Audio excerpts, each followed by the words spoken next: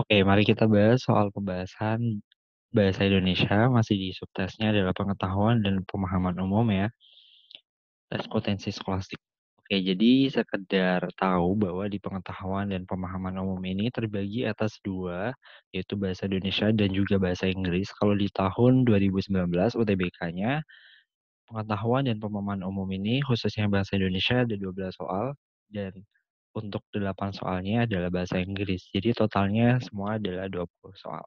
Oke, mari kita bahas soal nomor satu. Bacalah paragraf berikut dengan saksama. Sebaiknya brokoli dimasak atau direbus dengan air mendidih dalam kondisi setengah matang. Tambahkan garam untuk membunuh kuman, lalu tiriskan sebentar. Siram dengan air dingin. Fungsi air dingin ini untuk mempertahankan warna dan juga memperlambat proses brokoli. Dalam kondisi seperti ini, brokoli dapat disimpan 2 sampai dengan 3 hari dalam lemari pendingin dan aman untuk dikonsumsi. Ide pokok paragraf tersebut adalah Oke, berarti kita akan disuruh untuk mencari ide pokok paragraf. Nah, ide pokok paragraf ini, ini tuh bisa terletak di awal maupun terletak di akhir paragraf. Kalau misalkan si ide pokok paragraf ini tuh terletak di akhir paragraf, jadi bisa di awal sama di akhir ya. Nah, kalau misalkan di akhir paragraf, dia dinamakan dengan paragraf induktif kan. Nah, kalau misalkan berada di awal uh, paragraf dinamakan dengan kalimat utama atau gagasan utama, dan paragrafnya adalah paragraf deduktif.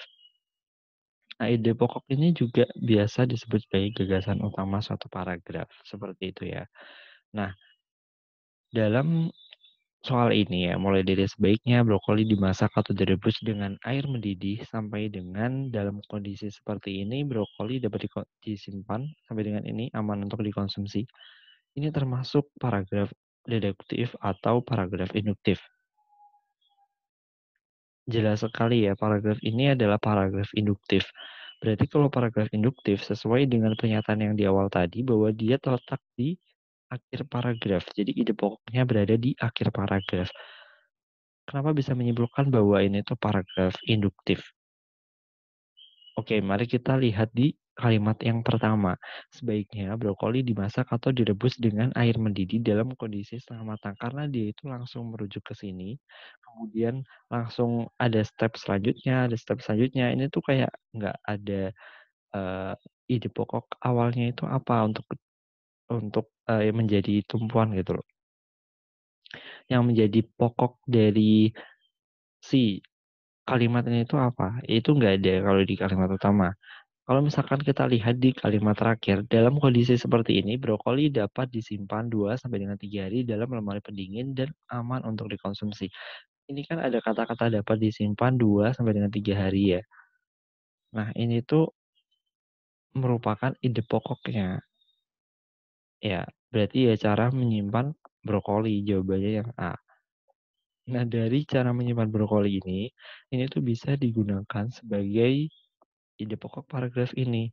Nah, dengan adanya ide pokok paragraf ini, yaitu cara menyimpan brokoli, maka dapat uh, kita kembangkan beberapa kalimat-kalimat pengembangan seperti ini. Sebaiknya brokoli dimasak atau direbus dengan cara mendidih dalam kondisi setengah matang. Oke, ini adalah pengembangan pertama.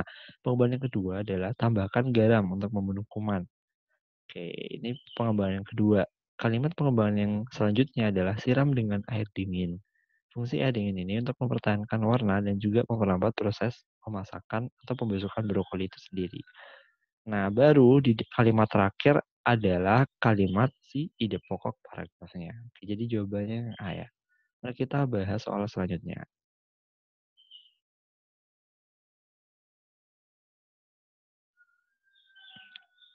Setelah dilakukan penilaian terhadap ulangan bahasa Indonesia kelas 12 IPA yang memperoleh nilai 8 sebanyak 25 orang. Nilai 7 sebanyak 4 orang dan nilai 6 hanya satu orang. Jumlah siswa hanya ada 30 orang. Simpulan yang tepat untuk mengakhiri paragraf tersebut adalah dalam menyimpulkan suatu bacaan, maka kita harus tahu semua isi bacaannya, baru kita menyimpulkan bacaan yang ada di paragraf ya. Oke, dari sini kita bisa cari garis besarnya apa. Ini ya, jumlah siswanya hanya 30 orang dan yang mendapat nilai 8 itu sebanyak 25 orang. Berarti kan ya rata-rata dia bagus kan. Berarti ada lima orang yang dia itu mendapatkan nilai di mendapatkan nilai kurang dari 8 gitu.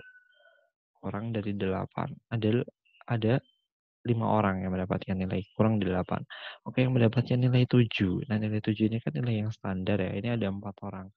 Nah, berarti yang mendapatkan nilai kurang baik itu hanya satu orang aja yaitu mendapatkan nilai 6 doang. Oke, jadi jelas ya kalau misalkan yang mendapatkan nilai 6 itu kan dia kan kurang baik ya nilainya dan dia cuma hanya satu orang. Berarti kan yang 29 orang bisa dikatakan dia itu baik. Ya udah kesimpulannya gimana? Oke, dapat dikatakan nilai mereka baik.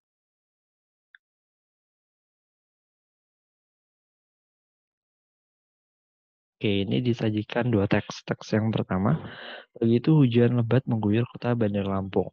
Hujan yang terjadi mulai pukul 4.30 waktu Indonesia bagian Barat, tadi membuat jalan menuju stasiun Tanjung Karang, tepatnya jalan Raden Intan, terendam banjir. Pada malam hari, genangan air setinggi sekitar 40 cm mengakibatkan kemacetan yang cukup panjang. Teks yang kedua, ribuan rumah terendam banjir bandang di tiga kecamatan di Kabupaten Banggai, Para korban mengungsi ke daerah yang lebih aman. Kondisi itu terjadi pada Minggu pukul 3 WITA. Perbedaan pola penyajian kedua teks tersebut adalah Oke. Kita disuruh untuk mencari pola penyajian kedua teks tersebut perbedaannya apa. Mari kita ke teks pertama terlebih dahulu. Nah, teks pertama ini diawali dengan pagi itu. Pagi itu hujan lebat mengguyur kota Bandar Lampung, tepatnya mulai pukul ini ya, 4.30 WIB. Nah, kemudian dilanjutkan pada malam hari, genangan air setinggi 40 cm. Berarti jelas ya, ini tuh uh, terjadi atau pola penyajiannya berdasarkan urutan waktu, mulai dari pagi hari, yang dimulai pada pukul 4.30, kemudian dilanjutkan pada malam harinya seperti apa. Jadi ini urutan waktu untuk teks yang pertama. Kita coret aja mulai dari jawaban atau opsi jawaban C sampai dengan E. Ini udah salah karena dia bukan urutan waktu. Oke, kita langsung aja ke teks yang kedua. Ke teks yang kedua, ribuan rumah terendam banjir bandang di tiga kecamatan. Nah, kemudian para korban mengungsi ke daerah yang lebih aman. Nah, karena ribuan rumah itu terendam banjir, maka para korban ini mengungsi ke daerah yang lebih aman. Berarti kan sebab akibat ya. Ya kan? Yang menjadi akibatnya adalah para korban mengungsi ke daerah yang lebih aman dan menjadi penyebabnya adalah si rumah karena terendam banjir bandang gitu. Oke, jadi jawabannya yang yang B. Teks 1 adalah urutan waktu, teks 2 adalah urutan sebab akibat. Oke, lanjut ya. Kami turut prihatin kepada terjadinya musibah di daerah itu. Oke, kita disuruh untuk memperbaiki ya kalimat efektif dari kalimat tersebut. Oke, dari sini kita bisa melihat bahwa kalimat efektif itu harus memiliki beberapa prinsip-prinsip ya yang harus dipenuhi agar menjadi kalimat yang efektif. Nah, seperti apa? Ya, seperti misalkan kesepadanan, kemudian keparalelan, kehematan kata, kecermatan, ketegasan, kepaduan, dan kelogisan kalimat. Nah, di sini mari kita lihat bahwa mulai dari sini ya, kami turut prihatin kepada terjadinya. Nah, ini sudah benar atau salah? Yang kepada terjadinya ini yang nggak efektif kan? Oke, mari, mari kita langsung aja mulai dari opsi A sampai dengan E. Kita lihat apakah manakah yang benar. Oke, opsi A. Kami turut prihatin sehingga terjadinya musibah. Ini juga salah. Kami turut prihatin maka terjadinya. Oke, ini juga salah. Kami turut prihatin dari terjadinya musibah, ini bukan dari. Dan jawaban D, kami turut prihatin supaya. Ah, salah ya. Oke, bilang jawaban E ya, yang satu-satunya yang nggak salah. Ya udah, berarti ini yang benar. Kami turut prihatin atas terjadinya musibah di daerah itu. Jadi inilah kalimat efektif dari perbaikan kalimat di atas. Oke, kita lanjutkan. Sani seorang siswa baru di kelas kami. Anaknya pendiam, tetapi murah senyum. Melihat penampilan dia yang kayak yang banyak diam, banyak teman mengira Sani seseorang siswa yang biasa-biasa aja. Akan tetapi pada saat ulangan dan hasilnya diumumkan, nilai Sani selalu yang tertinggi. Peribahasa yang sesuai dengan ilustrasi tersebut adalah Oke, berarti kita disuruh untuk mengilustrasikan dari eee, ilustrasi si Sani dalam dalam peribahasa yang sesuai dengan ilustrasi si Sani gitu. Oke, gampang banget ya. Jadi coba kita lihat. Oh ya, peribahasa itu apa? Peribahasa itu adalah kelompok kata ataupun kalimat yang menyatakan suatu maksud, kemudian keadaan seseorang atau hal yang mengungkapkan suatu perilaku atau perbuatan. Seperti itu ya, itu dinamakan peribahasa. Nah, berdasarkan penjelasan paragraf ini ya, bahwa si Sani ini kan dikira sama banyak temannya itu adalah orang yang biasa-biasa aja karena dia itu banyak diam, tapi dia murah senyum. Bahkan setiap kali dia itu ulangan, setiap kali dia itu ujian, hasilnya pas diumumin si Sani selalu mendapatkan nilai yang tertinggi. Ya jelas ya, jawabannya yang A, air yang tenang menghanyutkan. Nah, air yang tenang menghanyutkan ini memiliki arti bahwa seseorang yang mempunyai sifat pendiam biasanya itu cerdas dan mampu mengerjakan sesuatu hal yang besar. Jadi jawabannya yang A.